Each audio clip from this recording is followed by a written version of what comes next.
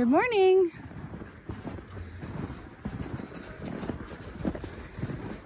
Clover and Peach are looking good. Oh, you shivering, honey. Sweetheart, you're shivering. Why don't you go inside? Do you want some hay? Do you want some hay? Sweetheart. Good girl. Good girl. Good morning, beautiful people. Welcome to Wilder Path Farm. Here, we're located in northern Canada where we do homesteading, gardening, and everything in between.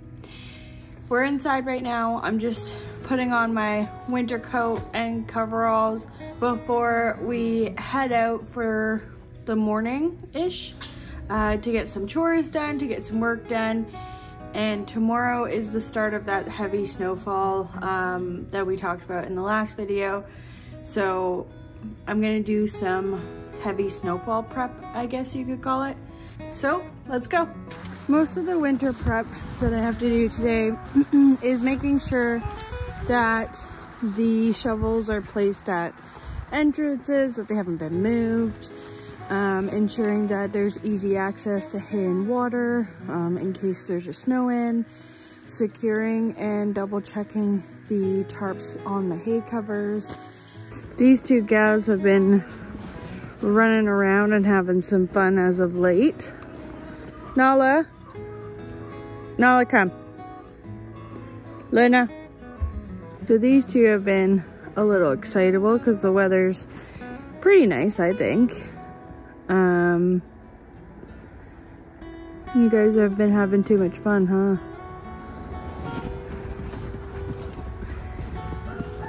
Is that... Good girl. I think I'm overdressed. It is way too mild out for all my layers.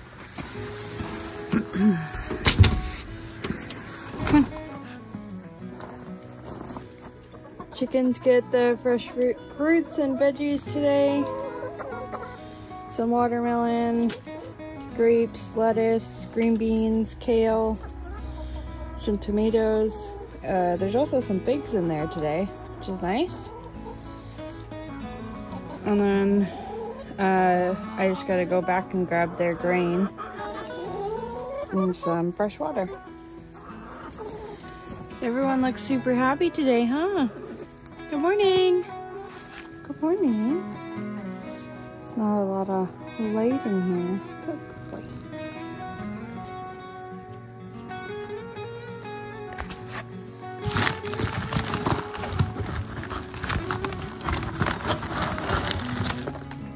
They just replaced their water.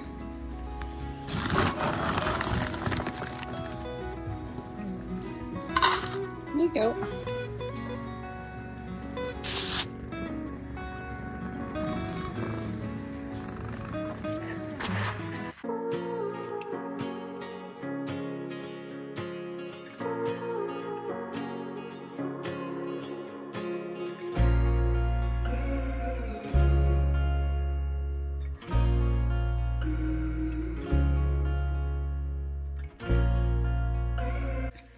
So we finished the stalls. We put all fresh bedding in and fresh bedding in this one as well. Um, we're gonna do the water a little bit later just because I don't want it to freeze even though it's not too cold out. Um, I usually just put the water in in the evening to ensure that it's fresh for when they come in and it's not frozen. It's the same thing with the goats and the chickens get their water um, in the morning. They're the only ones because that's when they drink. The goats and the horses drink usually in the evening before and after supper. Okay, let's go bring water to the chickens.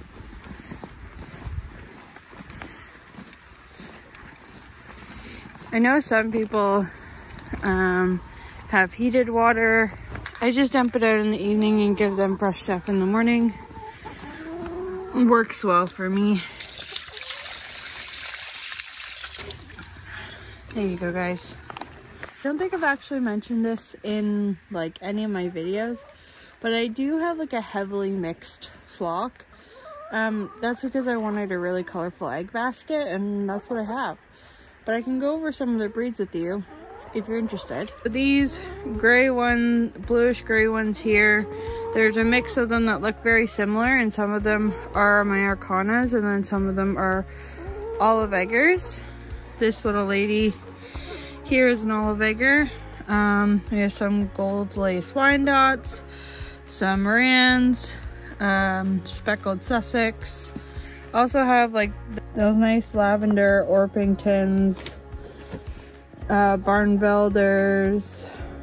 Uh, one of my roosters here is an Americana. And then Captain's uh, Black Copper Maran.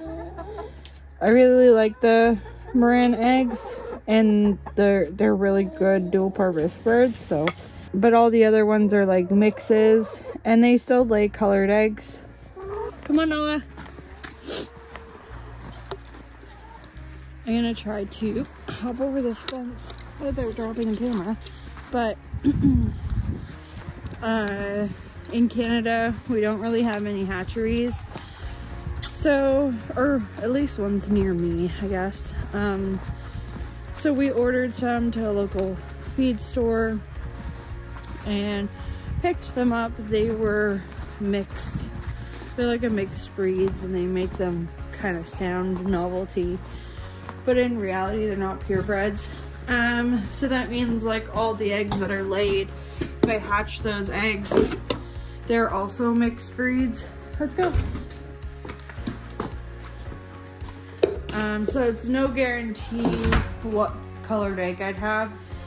Um, like that's why I have the Americana Rooster to hopefully get a blue egg laying gene into the flock my egg baskets are absolutely beautiful and I'll insert a clip here.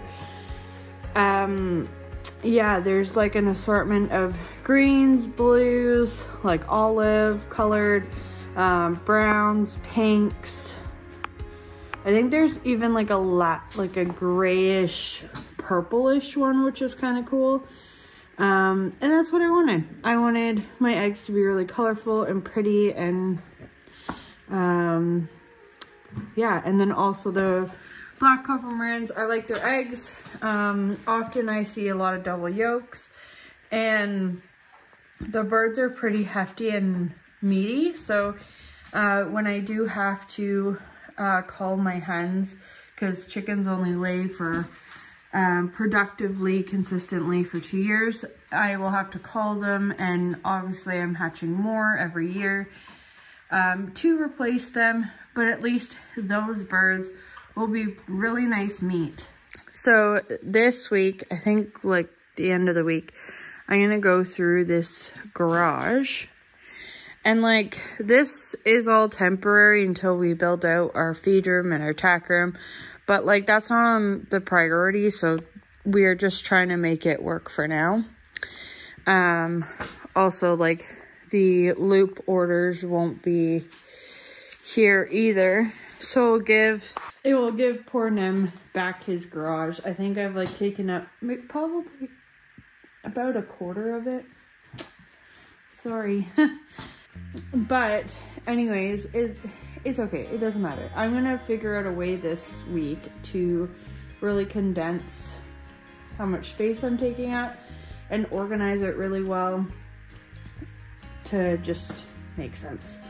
But for preparation for the big snowfall, I make sure that I have all the feed that I need in case we get snowed in. Um, like I said earlier, I'm going to do all the water, so that means I gotta organize these buckets and um, most, almost all of them are empty. So we'll have to fill those back up along with the big um, water barrel there.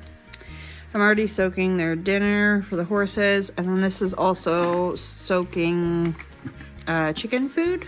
So hopefully that kind of helps you kind of get a grasp of some of the things that I do before a big storm. Um, our generators here, Nola, Gentle, or Luna, You have to be gentle with him. Oh my goodness, gentle. No, gentle. He's purring, guys, don't worry. He likes these dogs. They've kind of been raised around him, but I got to be, hey, careful because uh, they're big and they sometimes forget how big they actually are. So we have the snowblower ready. Uh, we have a compressor in case uh, we need to pump any tires, do anything like that. Um, log splitter for extra firewood, I guess. And then the generator. So I more leave it up to Nem to like make sure that there's um, that they're working and running properly. But we do have extra gas because um, they do run on gas. I mean, the log splitter doesn't. It runs on electricity, but the um, snowblower and the generator do, as well as our ATV that does plow um, our driveway. So, yeah, we need to make sure that we have gasoline. We also make sure that there's propane in the heater. This may sound like a lot of things to you, but this is all stuff that like either I check a few days before or um, the day before or something of the sort. And it's, I guess I could make a checklist. That probably would be helpful. But let's head out because that is very loud. Um, I make sure I have extra halters and leads ready. I talked about all the stuff for emergencies ready. Um, opened a new round bale of hay and then a new round bale of straw. You're very athletic. She just jumps on the round bales. Okay, let's go take this hay to the goats. And we also gotta knock off all that snow. I started, but we gotta get it all off. Everyone's in a naughty mood, huh? Here, goats. Here you go. They have lots of hay ins inside, but they're standing out here, not eating. So, they'll give you some hay to eat. Everyone's staring at something back there. Nala, come here. Now, I guess a lot of you ask what I do about predators. And a lot of it is this. If I see a fox, I usually start up the ATV and chase it off the property. Um, the dogs help a lot. But typically when the animals are acting weird like this, it's like a deer. Um, yeah. There's like deer prints through here. And it's because I feed hay to the horses, so that's like free food for them. It's very attractive to others. I don't see anything. Oh, you found a toy. Okay. Get it, Tuna. Get it. Get it, Tuna. Now she can't fit her mouth obviously around this ball, so I put a piece of baler twine on it so that she could carry it around. Ready? Oh, you got it. So I'm gonna go fill hay nuts and then I'll be right back.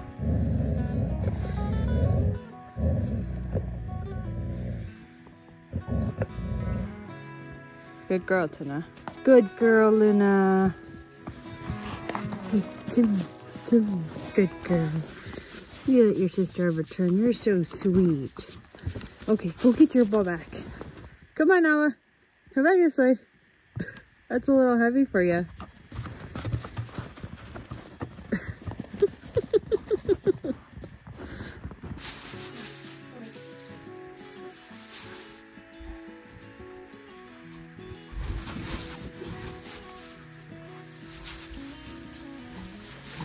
You're gonna go clean up the goat stall? What's on your nose? Huh?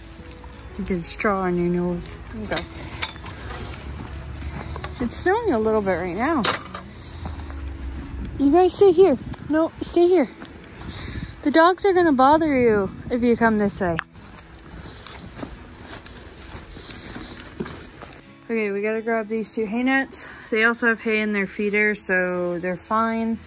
But we're gonna fill these up for tomorrow and for Wednesday because it's supposed to storm from like Tuesday morning to Wednesday evening. Okay, so I got the two hay nets. Um, I'm just gonna empty out the old hay and put in some new stuff. The horses are still finishing up the last bit of a round bale. If we're gonna get 30 centimeters of snow, um, give or take, might be five, it might be 30, it might be 60. Um, I'd rather not put out a new, fresh new bale for, for it to just get covered in snow. So they can finish up this little bit here um, which they are still eating.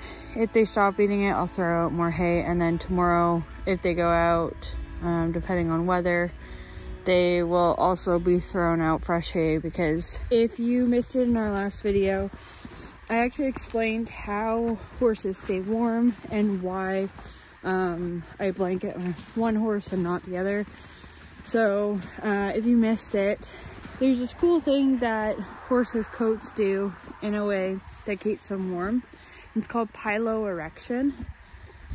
So Honey here has a really, really thick winter coat. If I were to put a blanket on her, it would either have to be warm enough to be as warm as her current coat or uh, warmer because the thing is is that she looks really fluffy right now if you can see and so does Amora's neck right here. So this is called piloerection. See how like fluffy um, and furry she looks? Coat is standing up on end um, in order for her to stay warm and trap the heat. If her coat was laying down, she wouldn't look as fluffy. And that's how her coat stops her from overheating as well. Now her winter coat is waterproof. So you'll see snow piling up on her back, which is super cool. Um, it doesn't melt because of her body heat because uh, her insulation is keeping the heat to her body and not releasing it into the air around her.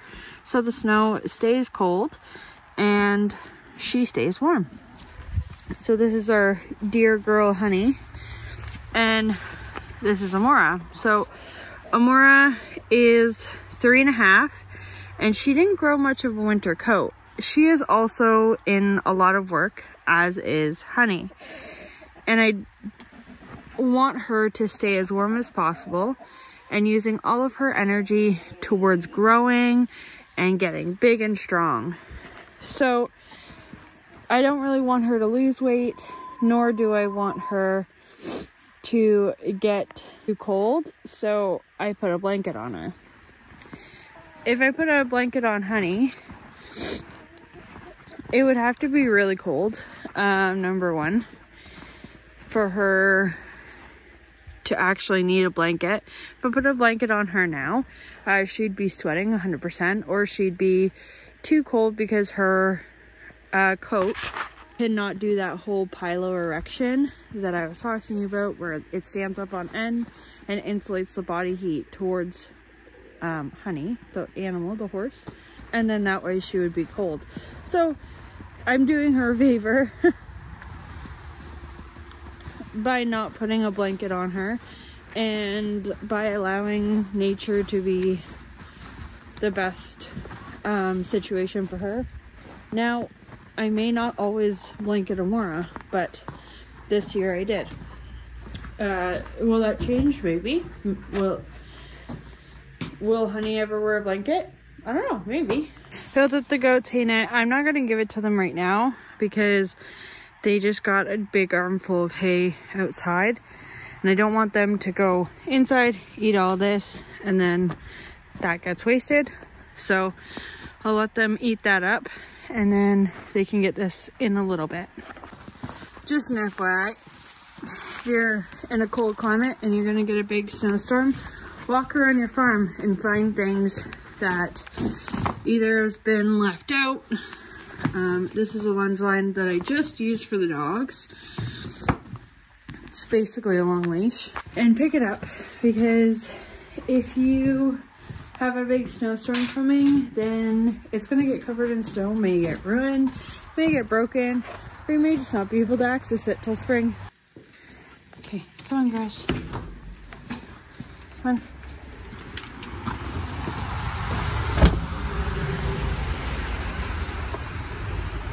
So, I just check. We have a shovel here, salt, salt, another shovel.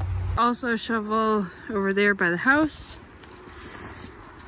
This is like the brush tool that we use to scrape the snow off the roof, but when it looks like this, um, a lot of it's ice and it's very heavy. So what we're gonna do is push it from the inside. Okay, so this is very easy. Um,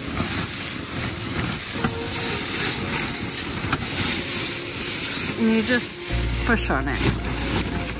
You don't push too hard because you don't want it to rip. So I'll get this done. Now this is not very much snow up there um, compared to what we're about to get and it was cleared off earlier. But you want to make sure that you get everything off in order for this tarp to work with a very heavy snowfall. And I will also have to do this during the snowfall to make sure it doesn't accumulate too much.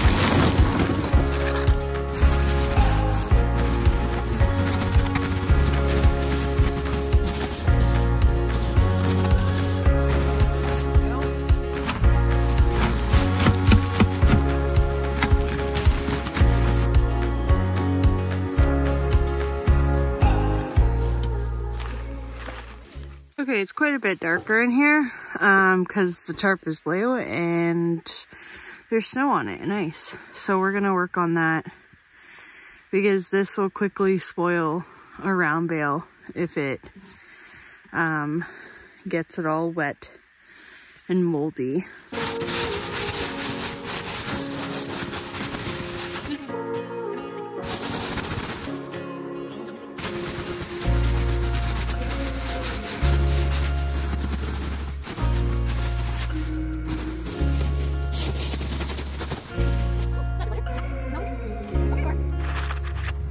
The dogs really love to play in the hay because there's always mice in here. You can't really avoid it that much.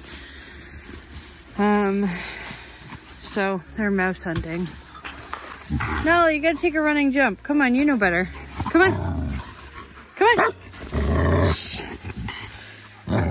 Come on, up. You can come up. You don't want me to pull you up, honey. Come on. Come on.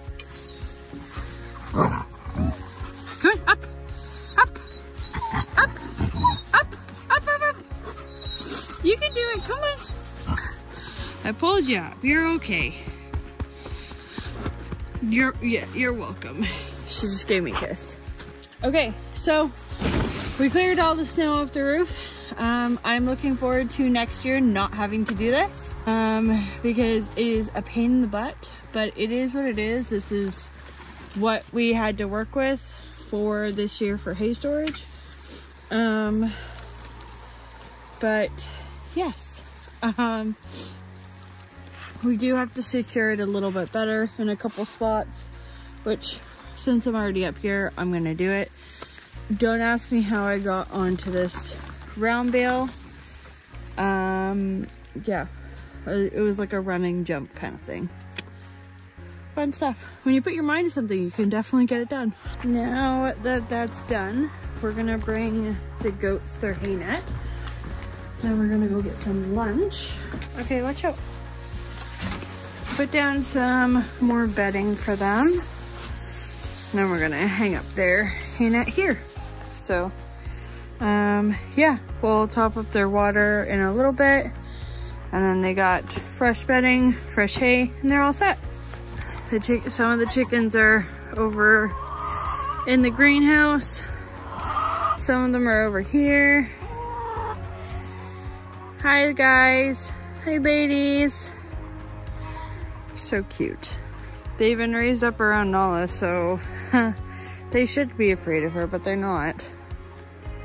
What are you doing? What are you doing? Get up. Let's go. We're gonna go get some lunch.